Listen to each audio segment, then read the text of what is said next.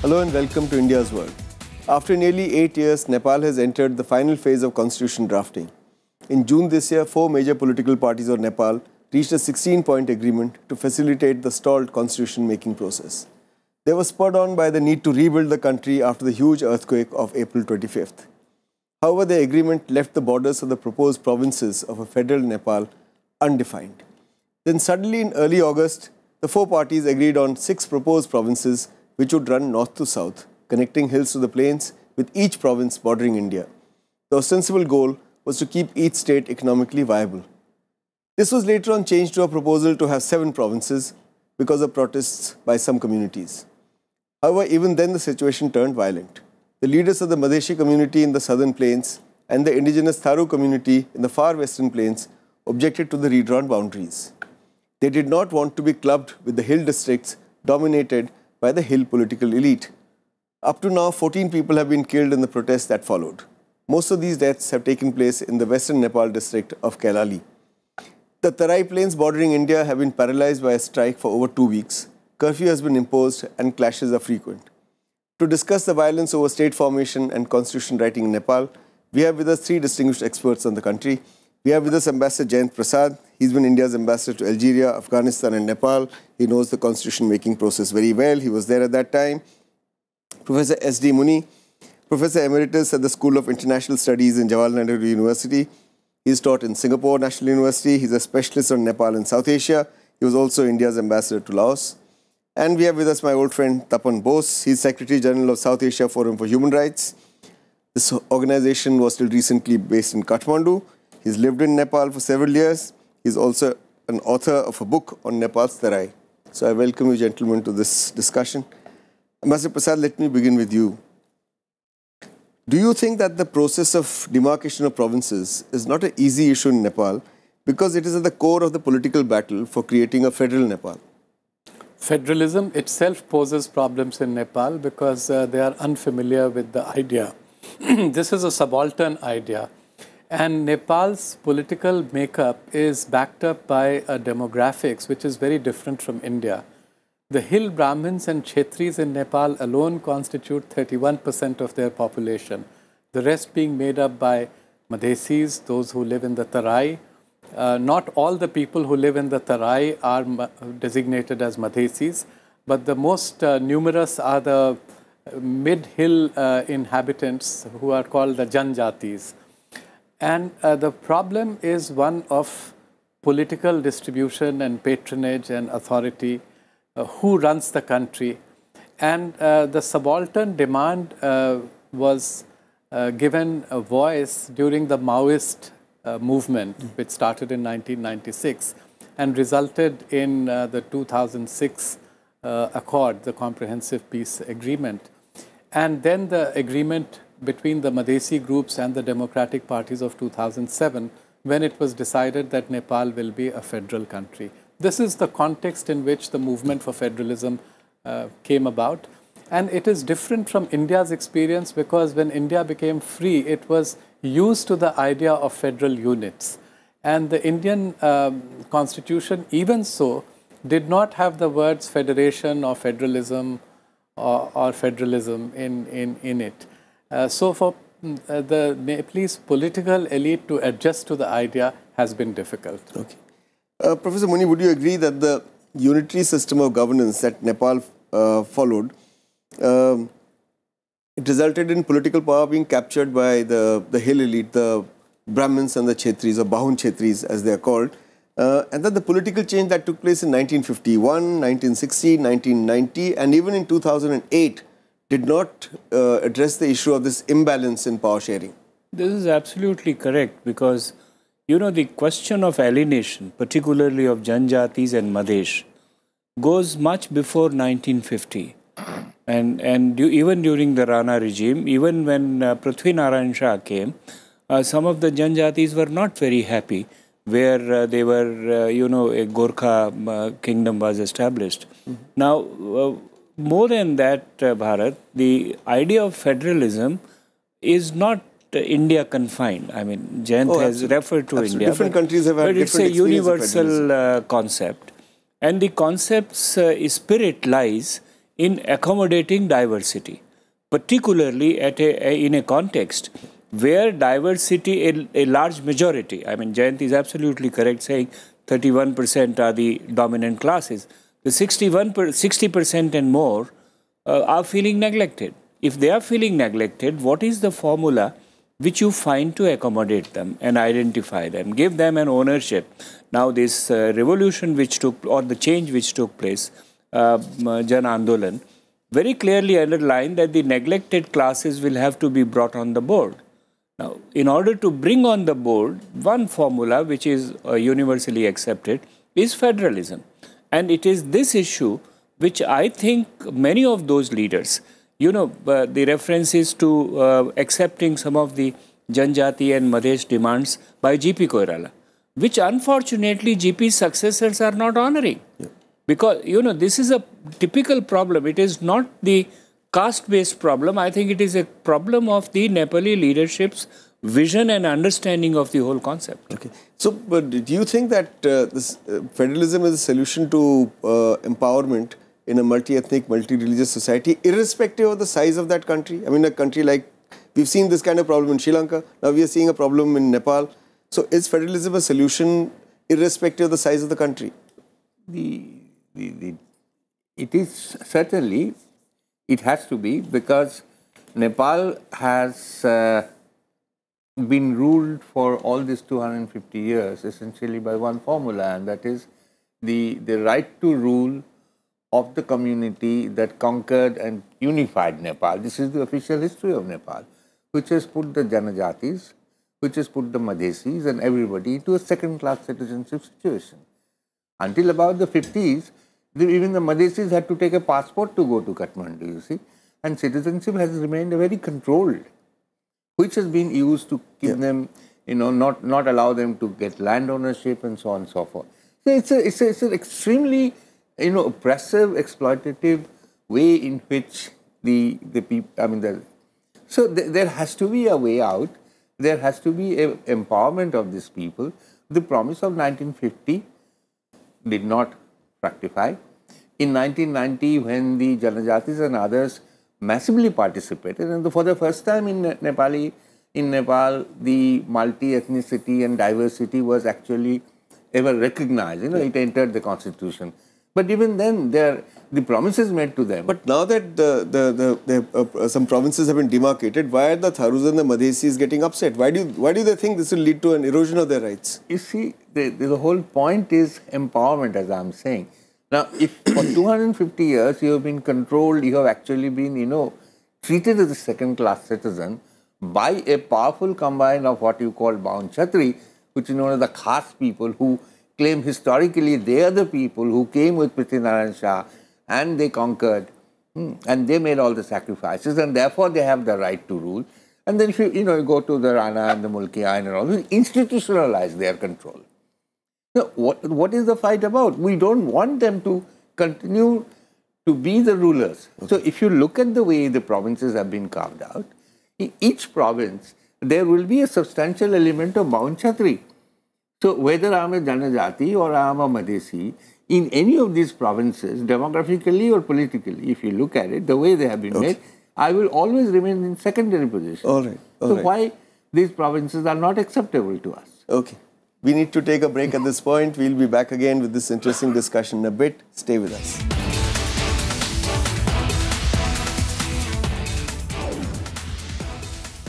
Welcome back. We're discussing the disturbances in Nepal over redrawing or drawing of provincial boundaries. Uh, Professor Muni, you wanted to say something about federalism before we went on the break. See, federalism is not a panacea of all the diversity. That is true. But in case of Nepal, nothing else was tried. There was no intent on the part of the central rulers to give them a feeling that, look, we want to uh, include them in, in, in the system. Therefore, why not try federalism? Okay. If you mess it up, yes, it can uh, create problems as well. Okay. Uh, Jayant, when it was evident that the Madhesi parties for long have had fought for a unified uh, uh, uh Madhes province based on ethnicity uh, and you know cul uh, cultural links, why was integration with the hill districts imposed on them? For the reasons that Tapan very nicely explained to you a minute ago. that uh, it was a question of uh, political domination. So the new districts that are being proposed to be carved, the six districts, uh, six province solution, the seven province solution, both of them are acts of gerrymandering. No, no, my problem, my, my question really was that Yeah. you knew that this would not be acceptable to people of Madhes. No, they because want to they ra- for, long fought for uh, a unified Madhes. Ek Madhes, Ek Pradesh was the slogan. They then they were willing to settle for two. But then you mess it up deliberately and think, uh, and you expect that there will be no protests. This was because the uh, ruling elite found an opportunity. Uh, the Madhesis were very well represented in the preceding cabinets uh, during the first uh, Constituent Assembly. But they did not use that opportunity to force their political partners to arrive at a settlement when uh, the time was better for them to have struck such a deal. Now, in the second Constituent Assembly, they have been cut to size. Their allies have been cut to size, mainly the Communist Party of Nepal, Maoist. And they, uh, CPNM, have allied itself to the ruling combine of Congress and UML to propose this uh, seven province solution. So now uh, the problem of the Madhesi population is that there is a disjunction between them and the political elite in Kathmandu, but there is also a disjunction between them and their political leadership, of which the political elite in Kathmandu is taking full advantage. So, so Professor Muni, what uh, uh, Jayant seems to be suggesting is that this this junction between Madhesis and their political leadership, in this case Bijay Gachadar, uh, is that uh, the the uh, Bahun Kshetri elite has bought over uh, and subverted the leadership of the Madhesis. Because otherwise, what explains the fact that except for eight districts between Saptari and Parsa, all the 14 districts in Madhes have been merged with hill districts? No, no. They are, my, my explanation is I want to uh, add to what uh, Jayant has said. Uh, besides their lesser numbers and power in the Constituent Assembly, there is a perception amongst the Pahadi leadership that Madesh and Janjatis are internally divided. There is no proper leadership to assert themselves. Now, what they are missing out is that at least in the uh, course of last seven years, particularly when this Madesh revolt was there against the Maoists, they have, the, what they are forgetting is that this consciousness has seeped down to the grassroots level. Therefore, what you see today, um, um, um, Bharat, in, in Nepal is that the leadership is helpless, but people are rising. And therefore, you have disturbances all around. They- They may, they may not be extensive violence, but there is an extensive resentment to whatever the central leadership in Kathmandu is actually doing. Uh, let's talk about the Tharus, uh, uh, Tapan. The decision to include the Tharu-dominated uh, districts of Kailali and Kanchanpur in so-called Province 7, which is west of uh, Karnali River, has upset the Tharu community. Now, if you can create seven provinces, why not create uh, eighth one as the Tharus are demanding? Call it Tharuhat uh, and put all the uh, uh, Tharu areas together. Or does it put weight to the plans then of hill domination? They can do nine, they can do ten, provided it, the question is, do they want to do it? And the answer to your question is what you said, they don't want to lose the control. Ah. And this is- see, historically, if you look at it, Tharus are the ones who lost the most in terms of you know their control over land, and they were the first to lose land during Mahendra's time, when the second unification, as they call it.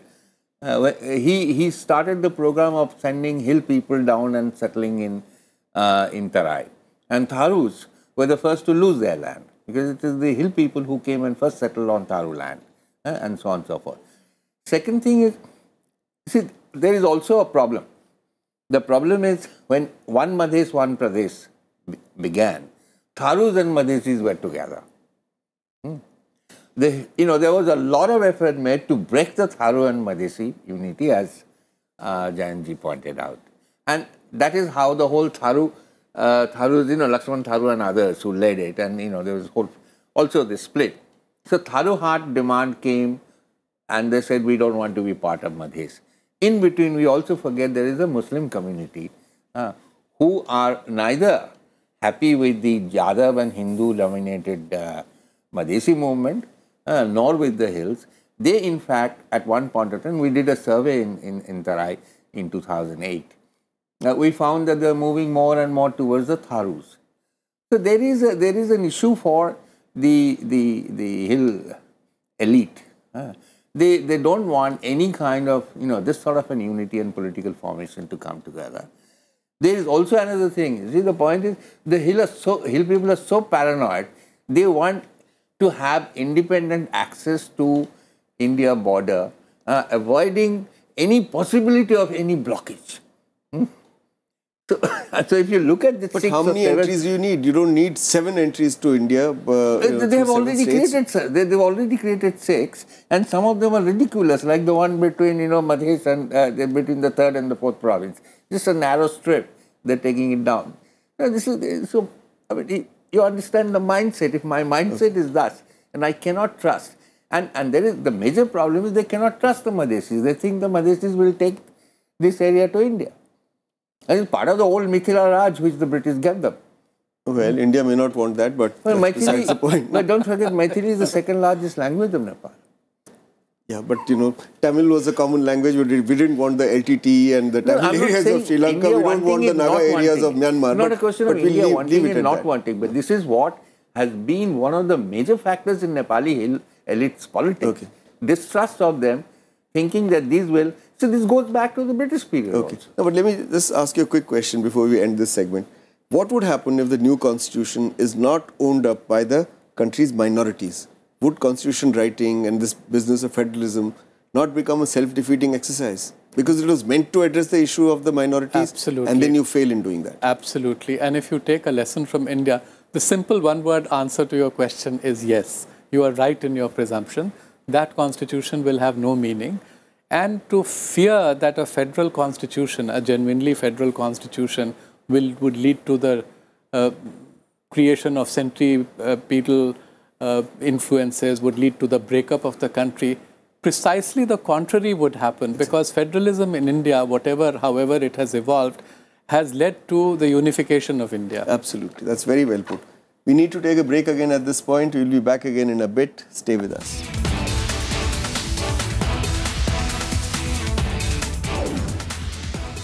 Welcome back. We're discussing the disturbances in Nepal over drawing of state boundaries. Uh, Professor Muni, uh, do you agree with the charge of the Madhesi, Tharu and indigenous Constituent Assembly members of Nepali Congress that the political parties have dealt with this business of drawing of uh, state boundaries in a, in a peremptory manner, in an oligarchic manner, without consulting all the uh, stakeholders. And it is this that has led to the violence after the demarcation of state boundaries. Absolutely. Even uh, Prime Minister Modi, while talking to a Nepali Prime Minister, said that look, 10 15 people sitting in a room cannot make a constitution. What has happened are two basic flaws. One flaw is that commitment mates have been gone back on. And that is where Tharu and Madhesh issue is absolutely critical because as I said, Girija Babu had agreed into some understanding with the Madhesh and Tharus which was not carried out. And secondly, when you took Vijay Gachdhar on board, obviously there was an understanding this his sensitivities would be accommodated. And when they made the seventh promise, uh, province, you know, it is very interesting that Gachdhar had not left the uh, four-party coalition until the issue the, of the seventh province came. And seventh promise uh, province was a literal uh, crafting on pure personal individual constituency level whether my a particular leader's constituency is affected or not affected now if this is what this is literally gerrymandering or, or actually uh, doing things in a purely personal manner if you do that how will the communities not feel offended okay. it's as simple as that okay Tapan, do you think that a different and a more consensual process uh, could have been used and should still be used to demarcate uh, uh, the boundaries of new provinces? Or do you think that, okay, you've had seven, uh, do some tinkering, and this process of tinkering can continue, but the constitution should be adopted? No, you see, the, the thinking or the mindset behind the, the, the way these have been carved out goes back to, you can link it to Mahendra's five development zones of Nepal. Mm. This, is, this is looking at Nepal in a way that the control will always remain in the hands of the, the elite, which belong the caste, you know, people, what they call the bound Kshatriyan. This will not work. And if you, if, you, if you look at it, I think the only serious, sincere attempt was made towards the end of the first Constituent Assembly when they created the commission with, uh, uh, I think, Krishna Hachhethu, Professor Krishna Hachhethu as the chair. And it was a very well balanced commission. And they had come up with eight provinces and I think four or six uh, autonomous uh, zones. And that was based on the principle of recognizing the, the communities, their demands, and also taking into account the economic and you know, social and other cultural issues. Now, that's, that was rejected. And if I am not wrong, I think it was rejected essentially because of the opposition of the Nepali Congress and the CPN UML, which is dominated by the Baun Kshatriya. And so, see, the politically, if you look at it, mapping, it has been clear that any attempt by the Janajatis and by the Madhesis to get empowerment, to have control over their own resources and their, and, and their political destiny has always been sabotaged. Hmm. Fair enough. I only want to say this, that when you say Baun Kshetris are Khas people, what you mean is Khas, which is Khas Brahmins and Khas Kshetris, No. which is an anthropological and ethnographic term, not Khas as special. Yeah. No, it's not Isn't khas it? as special, Yeah, it is but khas. it's khas, This, yeah. this is a community, I think, that comes from. No, no, they, because you know. Khas Brahmins and Khas Kshetris are also in our hill areas. But No, no, anyway, no, no, leave, yeah. leave that aside. Correct. Uh, what I want to ask you is this, that up to now we've been uh, suggesting that only the Bahun Kshetris, to retain their control, wanted the uh, states carved out in a particular manner, north-south states. Right. But there are people in Nepal who say that this has also been done under foreign pressure. And if I understand it correctly, they mean Chinese pressure, not Indian pressure, because China does, did not want, apparently, some uh, ethnic states being carved out along its Tibet border, because it feared that if such a thing happens, then the Tibetan uh, uh, rebels would find safe havens there. Is that correct? No, the Chinese were very reticent about this whole idea of federalism in Nepal because the Chinese foremost objective in Nepal is to look after their Tibetan problem, also the refugee problem. And what happens is that if a Tibetan asylum seeker reaches Kathmandu, gets into contact with human rights organizations, registers with the UNHCR, he gets a piece of paper which establishes his rights.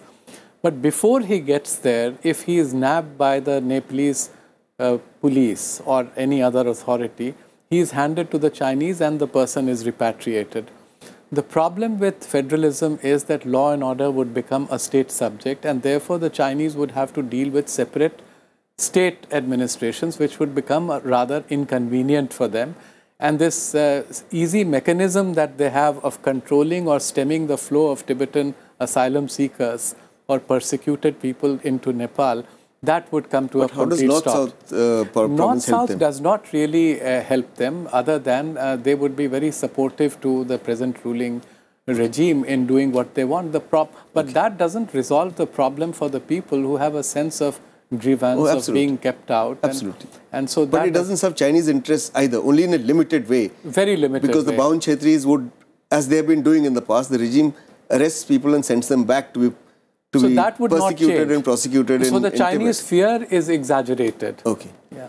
Last question, we are running out of time. So, uh, Professor Muni, if Nepal has to protect the sanctity and the integrity of the constitution writing process, they've reached this point with great amount of difficulty, with far too many sacrifices. What is it that Nepal needs to do? Still, there is time for the leadership to be resilient towards this question of identity and the special interests which are there. Flexible, I, I, I, yeah, resilient, flexible, in order to accommodate them. Uh, I want to add uh, just one point. They should look at the whole question in the international context. Today, everybody is recognizing identity and trying to accommodate identity all over the world why it is that the Nepalese uh, leadership is so indifferent, if not hostile, to the whole question of identity, Okay. which is uh, really creating the problem. Okay, quickly. just to say that the differences actually are very small. Uh, even under the previous Constituent Assembly, Nepal came very close to settling this problem. Uh, I think the whole topography of province number 7 should be changed and restored to what was proposed at that time, what was under discussion, and there was a kind of very close to an agreement reached on 13th of May uh, 2011 and uh, that whole thing broke down sorry 2010 and uh, that uh, 2011, sorry, 11. just before the Constituent Assembly gave 11 over provinces. 11 provinces idea. Now the problem is only of three districts completely in the east, which is Jhapa, Surang, uh, Jhapa, Morang, and Sunsari, and two districts in the Kailali, west, which is Kailali, yeah. Kanchanpur. And that also is restricted to a few districts of these proposed provinces. If that adjustment can be made, then the constitution Okay. can be written. Tapan, quickly, what should Nepal do? Well, I think, you know, they, they as uh, Jayant was saying, they need to go back a little into and, and bring back. It's all there. You know, I mean, the constituent, uh, the, the committee, the 11, first they came with 13 and they came. That report in itself is perhaps gives the best possible way of resolving the, the whole situation. Okay, okay. Also, the second thing is which they don't do.